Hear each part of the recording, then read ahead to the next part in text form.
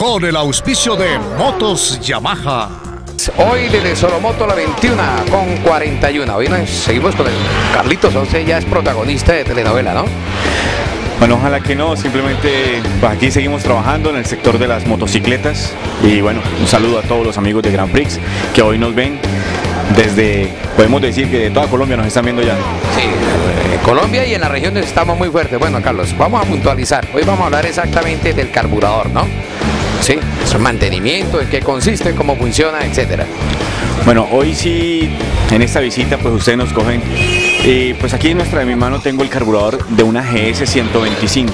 Pues el carburador es una pieza, es, como el corazón en la persona. Es una pieza fundamental, es una pieza que donde sus partes internas empiezan a fallar, toda la motocicleta falla. Eh, los carburadores actualmente, pues con la nueva tecnología, con la llegada de tantas marcas que, que nos han llegado, valga la redundancia, y con la llegada también de las motocicletas que vienen ya de los países asiáticos, pues son carburadores que actualmente los conseguimos muy económicos.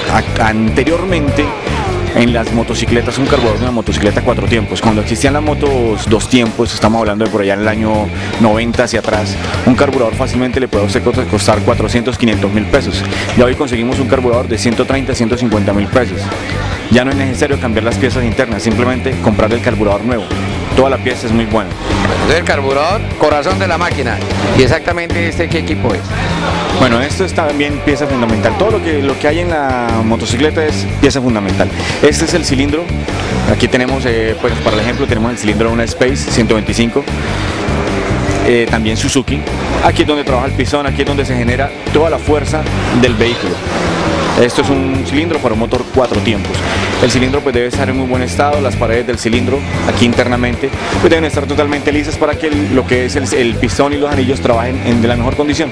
Cuando esto se desgasta también la motocicleta pierde fuerza. Empezamos a ver un desgaste, un trabajo que no es el propio de la motocicleta. Bueno amigos, acá enseñanza prácticamente con, con Grand Prix en Solomoto la 21 con Don Carlos que prácticamente nos ha dado esta orientación con equipos eh, prácticamente estos son originales, ¿no? Sí, es muy importante la pieza original. ¿Por qué?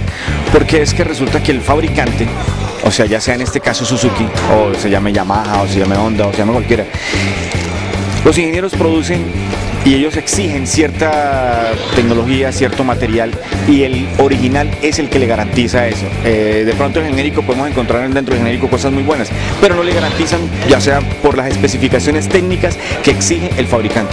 Por eso es muy importante la pieza original. Amigo, compren respuestas originales para que su máquina siga en perfecto estado. Muchas gracias, Carlos. Bueno, no, a ustedes y pues que sigan viendo Grand Prix. Si alguien te pregunta ¿Qué programa ves? Dilo claramente. Grand Prix, el mundo de los motores en una sola señal.